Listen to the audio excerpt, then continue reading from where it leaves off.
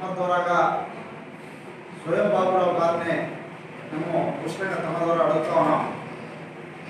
ఈ గిరిజన జాతిలో అన్నదమ్ములాగా జాతి మేలు కోసం హక్కుల కోసము గిరిజన జాతి ఏకమయ్యే సమయంలోనే బీజేపీ ఎంపీ స్వయం బాబురావు ఆయన రాజకీయ స్వలాభం కోసం ఆదివాసి గిరిజనులను పాములో వాడుకునే ఆయన స్వలాభం కోసం ప్రయత్నం జరుగుతా ఉన్నది.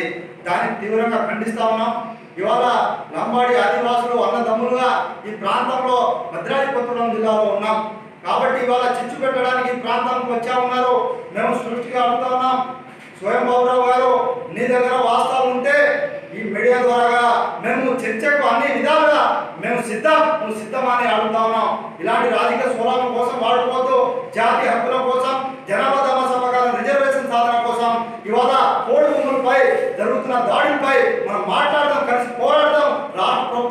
ప్రభుత్వం కేసీఆర్ నుంచే మన రిజర్వేషన్ కోడి సమస్యను పరిష్కర పరిష్కరించడం దిశగా పనిచేద్దాం. దాంతో భాగంగా ఆదివాసులు కూడా ప్రత్యేక ప్యాకేజ్ కోసం కూడా నంగారవెల్లి అమ్మడాకుల పోరాట సమితి మీకు అండగా ఉంటది. కలిసి పోరాడి మన రిజర్వేషన్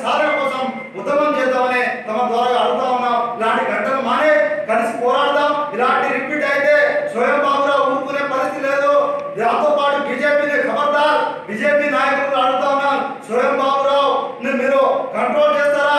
బీజేపీని ఈ రాష్ట్రంలో తండాలో తరిమి కొట్టే రోజు వస్తుందని తమ ద్వారా అడుగుతా ఉన్నాం.